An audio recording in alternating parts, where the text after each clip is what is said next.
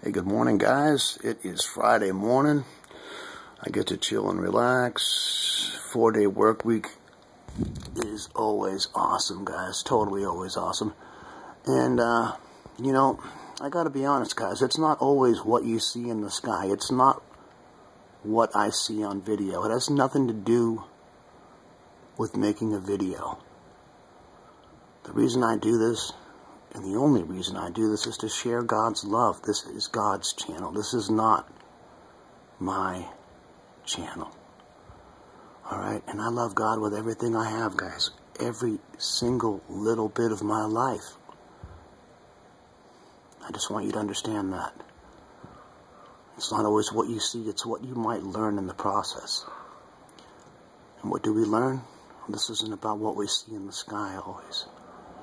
It's about sharing something that's so important that I really don't know what I'd do without the Lord.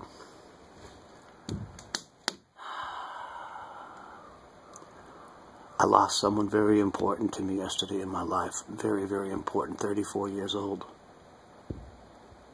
crushed me.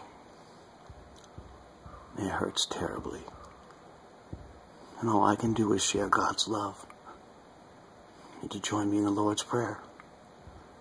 Our Father, who art in heaven, hallowed be thy name. Thy kingdom come, thy will be done on earth as it is in heaven. And won't you give us this day, dear Lord, our daily bread? And forgive us of our trespasses, Lord, as we forgive those who trespass against us.